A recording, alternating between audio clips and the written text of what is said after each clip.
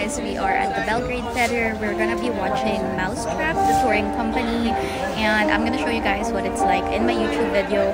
Make sure you follow me, that's at It's Pat Herb. But I am up in the God seats, as what they call it, and I'm literally at the end, as you can see here.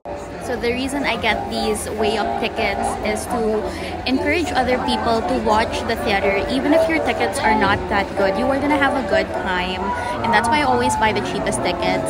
And also because I don't have a lot of money no judge. These tickets were 29 pounds.